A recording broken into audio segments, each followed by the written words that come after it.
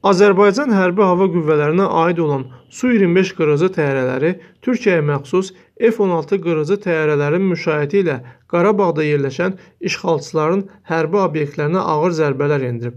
Bu haqda iddianı Rusiyanın məşhur Aviapro saytı səsləndirib. Sayt məlumatları separatçı rejimin Müdafiə Nazirinə istinədən yaydığını bildirib. Separatçılar Azərbaycan tərəfinin aviahücumları nəticəsində çox ciddi ziyan gördüklərini, hərbi infrastrukturlarının demək olar ki, yox olduğunu etiraf ediblər. Azərbaycan ordusunun qazandığı böyük uğurlara kölgə salmaq istəyən, həmçinin nəyin bahasına olur olsun, konfliktdə Rusiyanı cəlb etmək istəyən işğalçı rejimin Türkiyənin F-16-ları barədə dediyi bütün məlumatları Azərbaycan və Türkiyə tərəfi təkzib edib.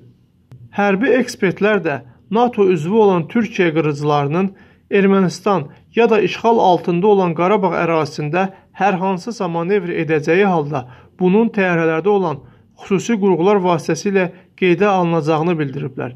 Belə ki, F-16-larda olan xüsusi qurğular onların bütün hərəkət marşrutunu müəyyən edərək NATO-nun ümumi bazasına ötürür.